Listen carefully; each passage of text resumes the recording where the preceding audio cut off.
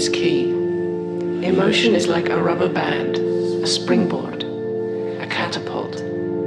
The higher the spaces in which emotion can develop, the better.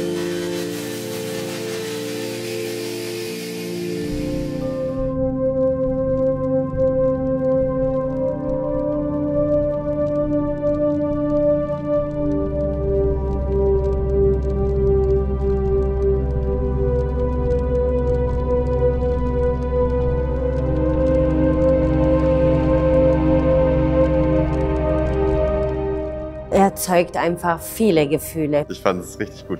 Experimentell und mutig. Es hat einen Eindruck bei mir hinterlassen, dass das überhaupt gibt. Das ist, war neu für mich und es war sehr cool. So als würde man eine Tiefe in sich tragen, aus, aus der Kunst entstehen kann, nur einfach dadurch, dass man ist.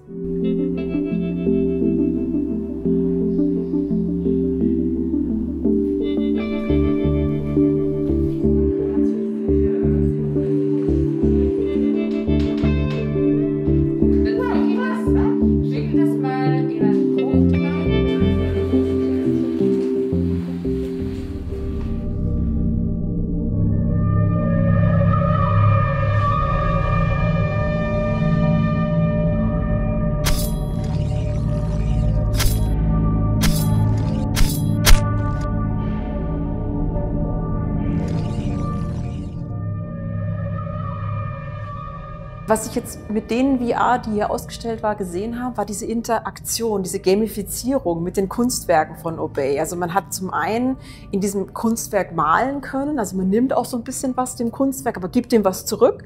Und ich fand die, die Gamifizierung eigentlich sehr, sehr mutig.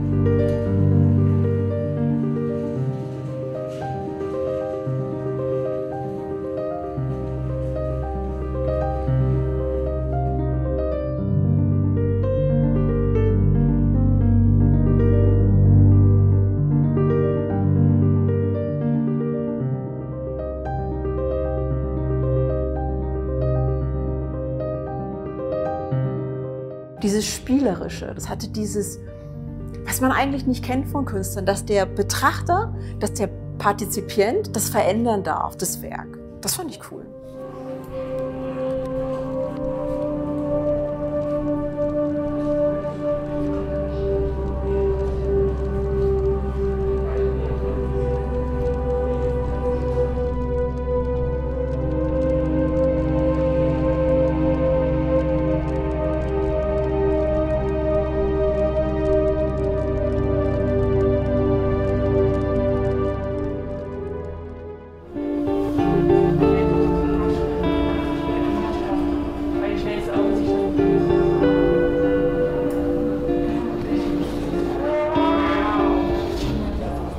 Ich fühle mich mitten in einem Raum von, von Sonnenaufgang bis Sonneuntergang.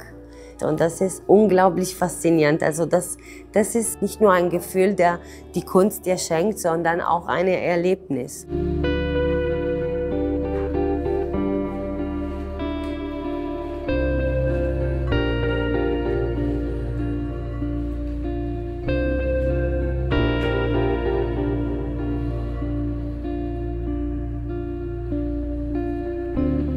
Wenn ich die Kugel so drehe, steuert tatsächlich Mond und Sonne. Also hier bin ich zum Beispiel jetzt mitten in der Nacht und drehe jetzt weiter und jetzt bin ich im vollen Mittagslicht, wenn die Sonne voll drauf strahlt. Ich kann mich aber auch im Kreis drehen und würde jetzt quasi in der Achse tatsächlich das Bild nehmen und mich dabei einmal im Kreis drehen.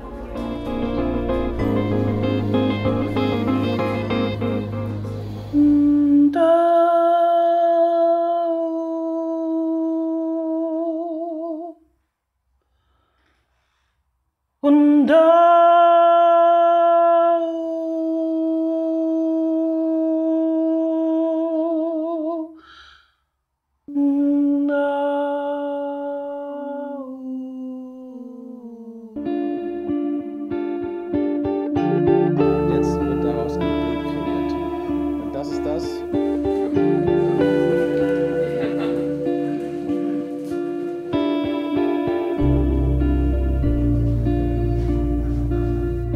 Auch bei den Reflections of Obey geht es um Resonanz.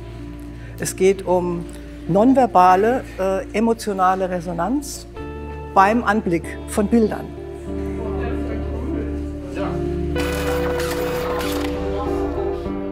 Technisch sieht das so aus, dass die Sensoren unsere Facial Expressions ablesen und äh, als Output bekommen wir die Mittelwerte von unseren Emotionen. Und dann diese Emotionen gehen in unseren Code, äh, den wir selber entwickelt haben. Und Prinzip ist einfach. Je größer ist die Emotion, desto größer ist der Muster auch. Und für die Visualisierung von Emotionen haben wir die Bilder von OB genommen.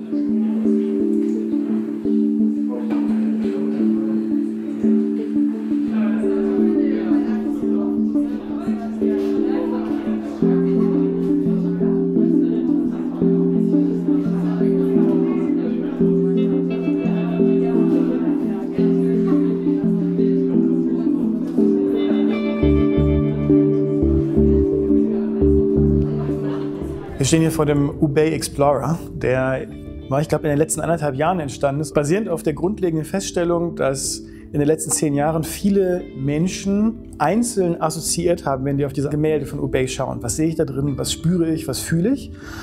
Und wir haben uns gefragt, wie kann man aus so einer einsamen Inselerfahrung etwas machen, was wachsen kann, was andauert, was auch andere Leute zum Schwingen bringen kann. Und der Explorer, der erlaubt genau das nicht nur in die Bildwelt einzutauchen von Ubeys Bildern, sondern in die Welt der Assoziationen, die Menschen hatten, als sie die Bilder gesehen haben. Der Uber Explorer, der lebt online. Der ist auf der Webseite von Mindkiss für jedermann zugänglich. Und dadurch entsteht ein kontinuierlich stetig wachsender Resonanzraum. Und ich bin sehr gespannt darauf zu sehen, was da kommt an Resonanz in den Uber Explorer im Laufe der nächsten Jahre.